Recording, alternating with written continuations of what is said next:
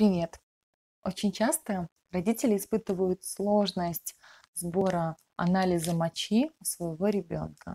Как у мальчиков, так и девочек. Возможно, у мальчиков это бывает чуть-чуть попроще, однако, конечно, когда мальчик также еще маленький, бывают определенные сложности для того, чтобы безопасно, аккуратно, правильно собрать а, анализ мочи у ребенка. Особенно сталкиваются с такими трудностями именно э, сбору мочи у девочек маленьких. Так существуют очень классные приспособления, такие как мочеприемники, которые также продаются абсолютно в любой аптеке, которые стоят буквально несколько копеечек. Вот на наши белорусские деньги стоит 28 копеек. Согласитесь, по-моему, это действительно гроши для того, чтобы такое приспособление помогло безопасно, чистенько, аккуратненько собрать письме ребеночка для анализа. Итак, также не забывайте про индивидуальные вот такие вот упаковочки, такие контейнеры.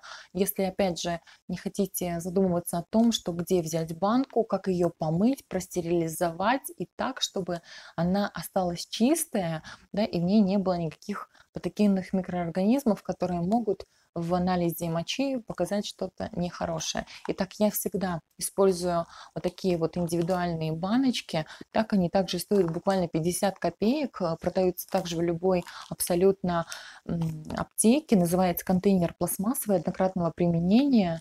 А, вот как раз-таки стерильный. Вот такой вот пакетик. Все закрыто, все чистенько. Вот здесь вот существует, так вот можно надорвать.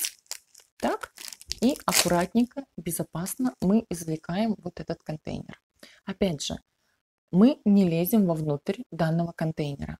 То есть у нас здесь все стерильно. То есть даже если мы сейчас снаружи вот это трогаем, ничего страшного не произойдет. Далее, есть специальная наклеечка, которая, опять же, все делаем чистыми руками, хорошо помытыми. Ребеночку подстилаем пеленочку, ложим ребенка на пеленочку просто горизонтально, так, отклеиваем вот такую вот наклеечку с данного пакетика.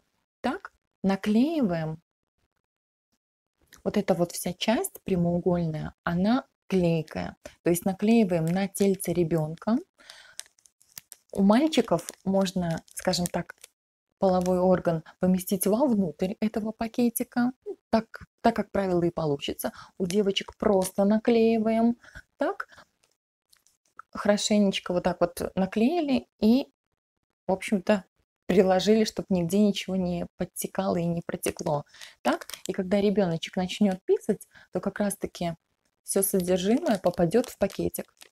У меня такого не было, чтобы, скажем так, куда-то потом проливалось мимо пакетика. Нет, всегда, если все правильно установлено, если все правильно приклеено, приклеено достаточно хорошо и плотненько, то никаких сложностей абсолютно не должно возникать, никаких подтеканий, протеканий, соответственно. Так? И так все содержимое так э, остается уже здесь, именно в этом вот контейнере в таком, да, определенном. Потом аккуратненько отклеиваем от кожи ребенка данный пакетик и все безопасно уже переливаем в стерильный вот такой вот контейнер для сбора мочи. И так все, никаких абсолютно сложностей нету. Главное, вы знаете, что внутри все стерильно, все абсолютно чисто, и уж точно вы себя не будете никаким образом винить, если что-то в моче было не так в анализе в самом, да, вы будете знать, что вы соблюдали все правила чистоты, стерильности и аккуратности при сборе данного анализа.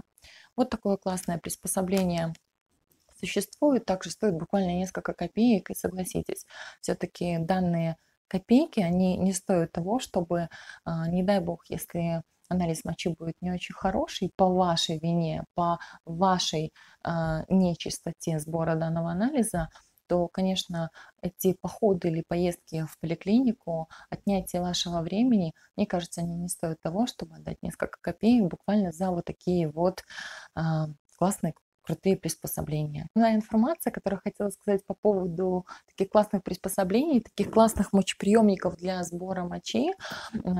Все, всем всего хорошего. Пока-пока.